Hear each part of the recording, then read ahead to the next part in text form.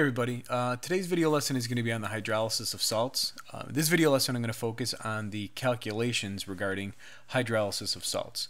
So when I look at a problem like this where I'm supposed to calculate the pH of a 0.3 molar uh, sodium fluoride solution, uh, the first indicator that this is hydrolysis of salts is the fact that I have a pH that I'm looking for, but yet the compound I'm given has no uh, hydrogen ions and hydroxide ions. So a lot of students right away think that the pH is going to be 7, but they have to realize that the conjugates are going to be involved in these reactions. So what I'm looking for are conjugate acids and conjugate bases of the weak acids and weak bases that accompany those conjugates.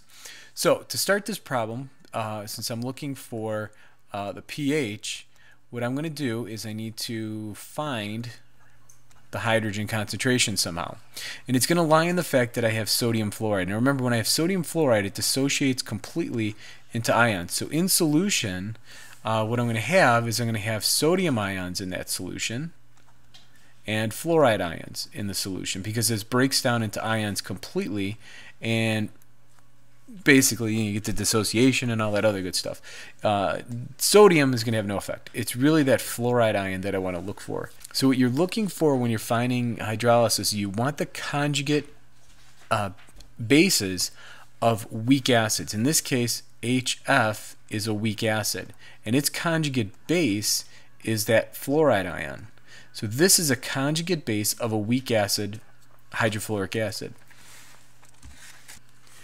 Now, if I compare that to something like hydrochloric acid, hydrochloric acid is a strong acid, so that conjugate um, base that I have from the hydrogen chloride, the, the chloride ion that I get from that hydrogen chloride, is not going to have any effect. So essentially, if I have any of the conjugate bases from strong acids, that would be chloride ions, uh, bromide ions, uh, iodide ions, nitrate ions, these are going to have no effect in any of the uh, pH because they're not going to be strong enough bases to do anything because they come from really strong acids. Their conjugates are going to be so weak that they have no effect. So what I'm looking for here is I'm looking for the pH. So what's going to happen is that fluoride ion when I put it into the water is actually going to react with water. Remember it's better to write HOH in here when you're doing the reactions with bases. And of course that's an aqueous ion. And as a re result of this reaction, what I end up with is HF, the weak acid coming back, and more importantly, that hydroxide. Now, because this hydroxide is forming, that's going to dominate the pH. Whenever you have the hydrogens or hydroxides by themselves, they definitely dominate everything. So on this problem, I'm going to have a equilibrium. So I'm going to have a weak acid uh, forming from the conjugate base. Okay, so the next step here is to start looking at the calculation. Well, I know that I have initially put into this container 0.3 molar solution. Uh, water we don't care about. This starts off as 0. This starts off as 0. My change is minus x plus x over here plus x over here. And of course, the equilibrium table, we're going to finish up with 0.30 molar and x oops, sorry, and x over here. Pen is giving me a little bit of trouble. Sorry about that. Okay, so this is my setup for the ice table. Now, if I look up the Ka of hydrofluoric acid, because I'm going to need, in this problem, I'm going to get a Kb. So be careful with this. How do I know that this is Kb? Because of the hydroxide. So whenever I have that hydroxide in my, you know, forming as a product, Therefore, what I'm going to end up with is a Kb problem. So that hydroxide indicates a Kb is going to be used. So I just go ahead and plug in. Now what I need here is a Kb. Okay, this is where I was kind of jumping the gun here by writing Ka. What I need is a Kb, but I don't have it. If you try looking for it in a table, you're not going to find it. Because what we do know is we know what the Ka is of our weak acid, because we know that this anion comes from hydrofluoric acid. So therefore I can look up the Ka for the hydrofluoric acid and that comes out to be 2 point, or 7.2 times 10 to the minus, uh, 4. Okay? Now, since I know what the Ka is, I can use the equation Kw equals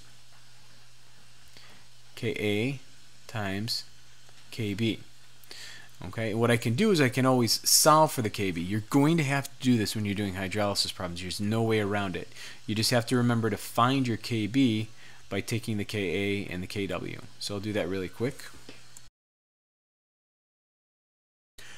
Okay, so now I've got my KB. What I'm going to do is I'm going to plug that all into the um, ICE table over here and solve it like uh, we do normal, you know, everyday problems. So let me go ahead and do that. Okay, so when I solve for x, what I end up with is 2.0 times 10 to the minus 6 molar. And don't forget, because we're doing a Kb problem, when we have hydroxide here, we've got to remember that this is the concentration of the OH minus ion. This is hydroxide, not the hydrogen ion. So if I take the negative log of this, I'm going to get the, the POH, not the pH. So you've got to be careful with that. Don't forget that often students miss that step and they take the negative log and get the wrong thing. So I'll do that, and I'll end up with my POH, and then I'll find my pH from that. Okay, so when all is said and done, uh, my pH comes out to be 8.31. Okay, so a couple things to remember when you're doing these kinds of problems is um, remember when you're looking at calculating pHs, you're looking for hydrogen concentrations. Well, we don't see them right away, and notice second that it's an ionic compound. It's usually an indicator that this is hydrolysis of salts. Break it down, look at your ions that you have left in the solution. What are your species that you have? Well, in this case, my species would be the fluoride ion and water, so that's why I react those two together. Those are the two major species. Set up the equilibrium. Uh, realize that you have a Kb, not a Ka in this particular one. There's also hydrolysis of salts where you'll have Kas, and in that case, you'll have to find the Ka from the Kb. Plug everything in like you normally do. Don't forget about X being hydroxide, and then solve for your pH. So there you go, guys. Uh, sorry about the pen. Was kind of uh, a little sluggish there, but I think we did it. Uh, if you have any questions, let me know. I'll see you guys later.